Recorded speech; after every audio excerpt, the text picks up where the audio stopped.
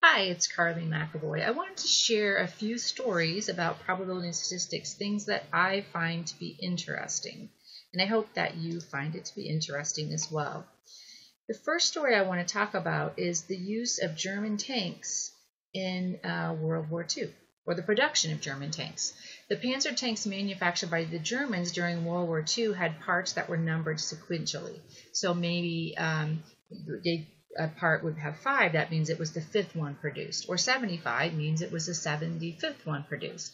And the Allied troops captured some of these tanks and they were able to see the serial numbers on the various parts. Some parts worked better than others. And using the numbers from the parts, mathematicians were able to estimate the total number of tanks that were being manufactured from month to month. So the German tank problem is a pretty famous problem, and it's a way to estimate the total population size from a small sample. And the formula is pretty simple. The N, capital N hat is just the total number uh, that they're uh, predicting that the Germans made in this case. Um, m, the small, lowercase m, is the small, the sample maximum, which is the highest serial number that, that was in the sample, and n is the sample size. So if you captured five tanks with serial numbers 12, 23, 40, 78, and 120, the important thing is the number of the tanks and the highest serial number that you had. And so that highest serial number here was 120. 120 divided by 5, and then add that to 120 and subtract 1, and you get 143, which means the estimate for this would be that, that the number of tanks produced at that time were 143. What's really cool is that while the mathematicians were back making their estimates, um, the intelligence committee or spy type of people were sent out and they were supposed to be using whatever methods they had to be predicting the number of tanks produced as well. And so the next slide here, I'll show you what, this, what the estimations were. So this is the actual, and because we, later the German records were obtained and they could see the actual. So for June of 1940, sort of early on when they hadn't captured a lot of tanks, still the statistical estimate, which is the mathematician team, that's 169. And the intelligence committee out in the field were saying that they were producing a thousand per month, and the actual German records show 122. So who was so much closer? And you can see those numbers stay close throughout 244 compared to the intelligence committee of 1550 and then the German record showing 271. And as time went on and more things were captured and their techniques got better, we get down to 327 estimate compared to 342 actually produced. That is pretty cool. All right, the next thing is lava lamps, which are cooler than you thought they were. Um, I took this picture of lava lamps from an actual YouTube video that's four minutes long. You can see, and I took that so you could see the name of that if you want to go watch this if you're into computers and internet security type of stuff. But a company called Cloudflare uses lava lamps to create truly random numbers to help protect websites and web services. Now, most random generators, which we're going to use a random generator from a computer this this quarter. And those do fine for what we need it for, but we're not trying to protect you know millions of sites on the web. So, um, but most of those random generators are are an algorithm that somebody wrote to produce randomness.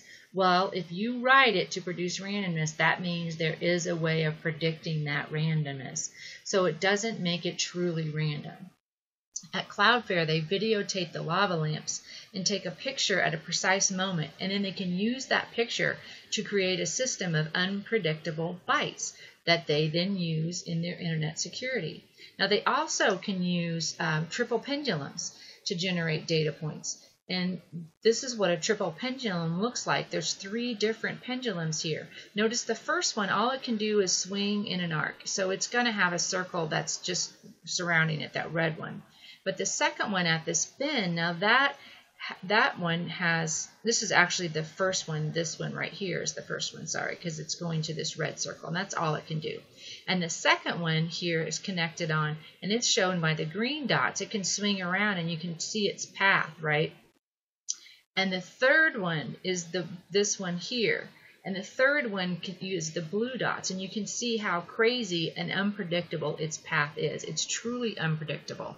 But you could take a picture of that and then say, look at the points on a circle that from the outermost circle that it created or points somewhere in there and you can use that to make encryption too and this is just a picture of an encrypted I don't know what this is code or something and you can uh, you can also if you want go to uh, tap dancing goats and see a, a simulator for a double pendulum if you want to create a kind of cool picture there. I think that website's kind of fun. All right and finally beer and the evolution of the human species. Um, since the mid 20th century, scholars have been considering the possibility that some early humans grew and stored grain for beer, perhaps centuries before they had adapted the grains for use for food. And so it's so important that the original uh, legal code um, was even prescribed beer as a central unit of payment and penance. And beer also played an important role in the evolution of statistics which is what my point is. But William Sealy Gosset, aka Student, uh, worked for Guinness Beer as the head experimental brewer from 1907 to 1935. And he was the first to explore the idea of statistical significance, which everybody talks about usually in their first chapter of statistics. Student produced small experimental batches of brew in an attempt to increase quality control and profits for the brewery that was producing 100 million gallons of stout annually. So think about that. He um, was he, he was doing this specifically to improve the beer at the Guinness Company. This is probably why he didn't use his own name. I have read that he used student because he didn't want people to know what he was doing and maybe duplicate it. You know, so it's competition, industry competition. Um, student work, students' work invented or inspired half of modern statistics, including the t tables, which are used for small sample sizes. Student did not have any formal training in statistics. He was self-taught, but he still managed to solve a problem that had previously eluded renowned mathematicians. So that's what I think is so cool about what's, what uh, Gosset did. Um, he had a problem, and he was told by this statistical community, yeah, you can't do that. And so he said, yeah, I can. And he went out and he found a way and found a way to make really sound, statistically based decisions, even though he would have very small sets of observations, maybe n is 2 or 5 or 7 or something. So he had really small sample sizes and he still was able to create a statistically sound study and created that for himself so that he could improve the beer that he was brewing.